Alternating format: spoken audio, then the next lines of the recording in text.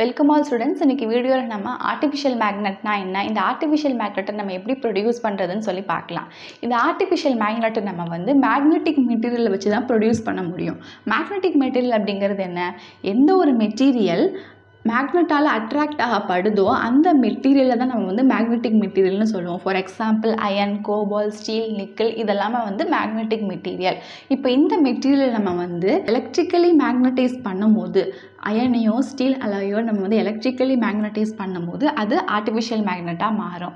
இதில் மேக்னட்டைசேஷன் அப்படிங்கிறது என்னென்னா one of the method to produce artificial magnet அந்த மெத்தடில் என்ன பண்ணுறாங்க அப்படின்னா அந்த மேக்னெட்டிக் மெட்டீரியல் நம்ம வந்து எக்ஸ்டர்னல் மேக்னெட்டிக் ஃபீல்டுக்கு எக்ஸ்போஸ் பண்ணணும். எக்ஸ்டர்னல் மேக்னெட்டிக் ஃபீல்டு அப்படிங்கிறது என்ன? பார் மேக்னெட்டை சுற்றி இருக்கக்கூடிய ஸ்பேஸில் தான் ஒரு ஃபோர்ஸ் ஆஃப் அட்ராக்ஷனோ இல்லை ஃபோர்ஸ் ஆஃப் ரிப்பல்ஷனோ வந்து இருக்கும். மேக்னெட்டிக் எஃபெக்ட் ஆர் இன்ஃப்ளூவன்ஸை வந்து பார்க்க முடியும். இந்த மேக்னெட்டிக் ஃபீல்டை வச்சு தள்ளி போயிட்டோம் அப்படின்னா ஃபோர்ஸ் ஆஃப் அட்ராக்ஷன் ரிப்பல்ஷன் அப்படிங்கிறது குறைஞ்சிரும். இந்த மேக்னெட்டிக் ஃபீல்டில் தான் வந்து ஃபோர்ஸ் ஆஃப் அட்ராக்ஷன் ரிப்பல்ஷன் வந்து இருக்கும். இந்த எக்ஸ்டர்னல் மேக்னெட்டிக் ஃபீல்டில் நம்ம வந்து ஒரு மெட்டீரியலை வந்து எக்ஸ்போஸ் பண்ணும்போது ஒரு மெட்டீரியலை வந்து கொண்டு வரும்போது அப்போது அந்த மெட்டீரியல் வந்து பெர்மனன்ட் மேக்னெட்டாகவோ இல்லை டெம்பரரி மேக்னெட்டாகவோ மாறும். இது வந்து ஒன் ஆஃப் த மெத்தட் இன்னொரு மெத்தட் என்ன அப்படின்னா அந்த மேக்னெட்டிக் மெட்டீரியலை வந்து நம்ம இன்னொரு ஆர்டிஃபிஷியல் மேக்னெட்டை வச்சு ஸ்ட்ரைக் பண்ணணும். ஆர்டிஃபிஷியல் மேக்னெட் அப்படிங்கிறப்போ ஃபார் எக்ஸாம்பிள் பார் மேக்னெட் இல்லைனா வந்து மேக்னெட்டைடை வச்சு நம்ம ஸ்ட்ரைக் பண்ணும்போது அப்போ அது வந்து ஆர்டிஃபிஷியல் மேக்னெட்டாக மாறும். இதுக்கு ஒரு ஆக்டிவிட்டி இருக்குது இப்போது ஒரு அயன் நெயில் வந்து இருக்குது அண்ட் சில ஸ்டீல் பின்ஸ் வந்து இருக்குது இந்த அயன் நெயிலை வந்து நம்ம ஸ்டீல் பின்ஸ் கிட்ட கொண்டு போனோம் அப்படின்னா ஃபஸ்ட்டு எந்த ஒரு அட்ராக்ஷனுமே இருக்காது. அப்போ அதுக்கப்புறம் என்ன பண்ணுறோன்னா இந்த அயன் நெயில் இருக்கா? அண்ட் ஒரு பார் மேக்னெட் வச்சு நம்ம அதை வந்து ஸ்ட்ரைக் பண்ணுறோம் இந்த பார் மேக்னெட்டோட ஒரு எண்டை வச்சு இந்த அயன் நெயிலோட ஒரு எண்டில் ஸ்டார்ட் பண்ணி அலாங் த லென்த் வந்து இந்த மாதிரி நம்ம மூவ் பண்ணுறோம் ஒரு டைரக்ஷனில் தான் மூவ் பண்ணணும். முன்னாடி பின்னாடி மூவ் பண்ணக்கூடாது. ஒரே டேரக்ஷனில் மூவ் பண்ணணும். டுவெண்ட்டி டு தேர்ட்டி டைம்ஸ் வந்து இந்த ப்ராசஸை ரிப்பீட் பண்ணும்போது இப்போது இந்த அயன் நெயிலால் இப்போது இந்த ஸ்டீல் பீன்ஸை வந்து அட்ராக்ட் பண்ண முடியும். ஸோ இந்த மாதிரி தான். ஸ்ட்ரைக் பண்ணும்போதோ இல்லை எக்ஸ்டர்னல் மேக்னெட்டிக் ஃபீல்டுக்கு எக்ஸ்போஸ் பண்ணும்போதோ நம்ம வந்து ஆர்டிஃபிஷியல் மேக்னெட்டாக அந்த மேக்னெட்டிக் மெட்டீரியலை வந்து கொண்டு வர முடியும். அப்படி நம்ம ஆர்டிஃபிஷியல் மேக்னெட்டாக அந்த மெட்டீரியலை வந்து மாற்றிருப்போம் இல்லையா? எவ்வளோ தூரம் அந்த மேக்னெட்டிக் ப்ராப்பர்ட்டியை ரீட்டைன் பண்ணி வச்சுருக்கு அதோட எபிலிட்டி வந்து எவ்வளோ தூரம் இருக்குது அப்படிங்கிறத பொறுத்து அந்த மெட்டீரியல் வந்து டெம்பரரி மேக்னெட்டாகவும் பர்மனெண்ட் மேக்னெட்டாகவும் கிளாஸிஃபை ஆகிருக்கு ஆர்டிஃபிஷியல் மேக்னெட்டோட ஒரு டைப் தான் வந்து இந்த டெம்பரரி மேக்னெட் இந்த டெம்பரரி மேக்னெட்டை மேக் பண்ணுறதுக்கு நம்ம மேக்னெட்டிக் மெட்டீரியலான சாஃப்ட் அயனை வந்து யூஸ் பண்ணுறோம் இந்த சாஃப்ட் அயன் வந்து எப்போ மேக்னெட்டாக பிஹேவ் பண்ணுது அப்படின்னா எக்ஸ்டர்னல் மேக்னெட்டிக் ஃபீல்டோட இன்ஃப்ளூவன்ஸில் தான். அப்போ தான் வந்து மேக்னெட்டாக பிஹேவ் பண்ணுது. இந்த டெம்பரரி மேக்னெட் எங்கெல்லாம் யூஸ் பண்ணுறாங்க அப்படின்னா எலக்ட்ரிக் பெல்ஸ்லேயும் கிரெயின்ஸ்லேயும் அப்போ அந்த இடத்துல எப்படி ஒர்க் ஆகுதுன்னு பாருங்கள் ஒரு சாஃப்ட் அயன் வந்து எப்போ மேக்னெட்டாக பிஹேவ் பண்ணணும்னா எக்ஸ்டர்னல் மேக்னெட்டிக் ஃபீல்டோட இதோட இன்ஃப்ளூவன்ஸில் தான்.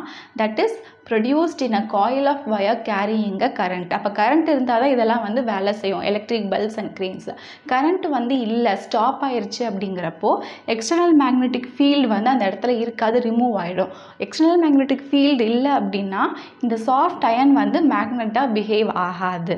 கரண்ட் இருந்தால் மட்டும்தான் எக்ஸ்டர்னல் மேக்னெட்டிக் ஃபீல்டோட இன்ஃப்ளூவன்ஸில் வந்து சாஃப்ட் அயன் மேக்னெட்டாக பிஹேவ் ஆகும். அதனால இதை வந்து நம்ம டெம்பரரி மேக்னெட் அப்படின்னு சொல்கிறோம் ஆர்டிஃபிஷியல் மேக்னெட்டோட இன்னொரு டைப் வந்து பர்மனன்ட் மேக்னெட் இந்த பர்மனன்ட் மேக்னெட் எதுலேருந்து ப்ரொடியூஸ் பண்ணுறாங்கன்னா ஹார்ட் அண்ட் ஸ்டீல் அண்ட் சில அலாய்ஸ்லேருந்து டெம்பரரி மேக்னெட் மேக்னெட்டாக பிஹேவ் பண்ணுறதுக்கு எக்ஸ்டர்னல் மேக்னெட்டிக் ஃபீல்டு வந்து தேவைப்பட்டுச்சு. ஆனால் பர்மனன்ட் மேக்னெட்டுக்கு அந்த எக்ஸ்டர்னல் மேக்னெட்டிக் ஃபீல்டு எதுவுமே தேவை கிடையாது. அது எப்போவுமே மேக்னெட்டிக் ப்ராப்பர்ட்டிஸை ரீட்டைன் பண்ணியே தான் வச்சுருக்கும். The most commonly used permanent magnet எதுன்னா அல்னிக்கோ அதாவது and alloy of aluminium nickel and cobalt அதான் அல்னிக்கோ டூ இன்னும் அல்னிக்கோ கவ் மேக்னெட்னு ஒரு மேக்னெட் இருக்குது இப்போது கவுலாம் வந்து வீட்டில் வச்சுருக்காம வெளியே விட்டுறாங்க. அது எங்கேயாச்சும் கார்பேஜில் ஃபுட் பார்ட்டிகல்ஸை சாப்பிட்டுட்டு ஃபுட் பார்ட்டிகல்ஸை சாப்பிடும் போதே தவறுதலாக மேக்னெட்டிக் மெட்டீரியல்ஸும் சாப்பிட்ருச்சுன்னு வச்சுக்கோங்களேன். அது வந்து டயஜஸ்டிவ் ட்ராக்டை போய் டேமேஜ் பண்ணிடும் ஸோ அதுலேருந்து அந்த கவ்வெல்லாம் காப்பாற்றுறதுக்கு அதுலேருந்து அந்த அனிமல்ஸ்லாம் காப்பாற்றுறதுக்கு we are using a alnico cow magnet இது வந்து அனிமல்ஸ் இன்ஜெக்ட்ஸ் பண்ணக்கூடிய இந்த மாதிரி அயன் ஆப்ஜெக்ட்ஸ் அட்ராக்ட் பண்ணக்கூடியதான் வந்து alnico cow magnet Next strongest and powerful magnet on the earth is a neodymium magnet. இந்த பெர்மனன்ட் மேக்னெட் எங்கெல்லாம் யூஸ் பண்ணுறாங்கன்னா refrigerator speaker and magnetic compass மேக்னெட்டில் இருக்கக்கூடிய மேக்னெட்டிக் ப்ராப்பர்ட்டி எப்படி ரிமூவ் பண்ணுறது ஒரு மேக்னெட்டை நம்ம யூஸ் பண்ணாமல் சும்மாவே ரொம்ப காலமாக வச்சுருக்கும் போது அதோட மேக்னெட்டிக் ப்ராப்பர்ட்டியை லூஸ் பண்ணிடும் அண்ட் ஒரு மேக்னெட்டை நம்ம கண்டினியூஸாக ஹாமர் பண்ணும்போது அதை இடிச்சுக்கிட்டே இருக்கும்போது அதோட மேக்னெட்டிக் ப்ராப்பர்ட்டி வந்து லூஸ் பண்ணிடும். ஒரு மேக்னெட்டை நம்ம ஹைட்லேருந்து கீழே போடும் போது அந்த மேக்னெட்டிக் ப்ராப்பர்ட்டியை லூஸ் பண்ணிடும்.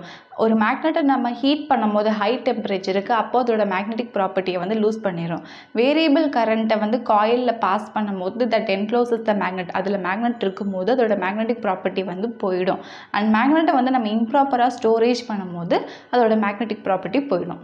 இதோட இந்த வீடியோ முடியுது. இந்த வீடியோவில் நம்ம ஆர்டிஃபிஷியல் மேக்னெட்டை வந்து எப்படி ப்ரொடியூஸ் பண்ணுறது ஒரு மேக்னெட்டிக் மெட்டீரியல் நம்ம ஆர்டிஃபிஷியல் மேக்னெட்டை எப்படி கொண்டு வருது அண்ட் ஆர்டிஃபிஷியல் மேக்னெட்டோட ரெண்டு டைப்ஸான temporary magnet and permanent magnet பற்றி பார்த்தோம். அண்ட் ஒரு மேக்னெட்டோட மேக்னெட்டிக் ப்ராப்பர்ட்டியை வந்து எப்படி ரிமூவ் பண்ணுறதுங்கிறதையும் பார்த்துருக்கோம். ஐ ஹோப் உங்களுக்கு இந்த வீடியோ கிளியராக புரிஞ்சிருக்கும்னு நினைக்கிறேன். இந்த வீடியோ டவுட் இருந்துச்சு அப்படின்னா you can ask me in comment section நான் என்னோட சேனலில் ஃபிசிக்ஸ் பயாலஜி கெமிஸ்ட்ரின்னு எல்லா கான்செப்ட்டும் கவர் ஆகிற மாதிரி இது வரைக்கும் ஸ்டாண்டர்ட் சிக்ஸில் டேர்ம் கம்ப்ளீட் பண்ணிவிட்டு ஸ்டாண்டர்ட் செவன் அண்ட் ஸ்டாண்டர்ட் எயிட்டில் first term and second term முடிச்சுட்டு இப்போ நான் தேர்ட் டேர்ம் போட்டுட்ருக்கேன். நான் போடுற நிறைய வீடியோஸ் உங்களுக்கு யூஸ்ஃபுல்லாக இருக்கும். இது வரைக்கும் போட்ட வீடியோஸ் எல்லாமே என்னோட சேனல் பிளேலிஸ்ட்டில் இருக்குது you can go there and see it share among friends circle subscribe my channel channel and thank you for watching